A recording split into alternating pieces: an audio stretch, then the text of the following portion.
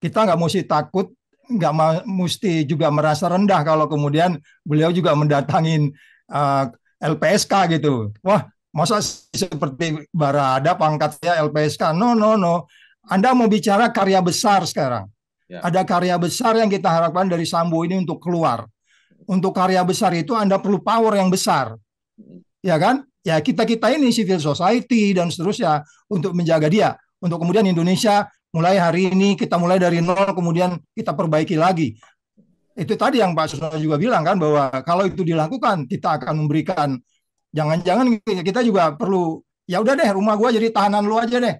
Minta nah. izin Menteri Hukum dan HAM. Gua jagain 24 jam gitu. Yang penting Indonesia ini baik. Yang penting Indonesia sejahtera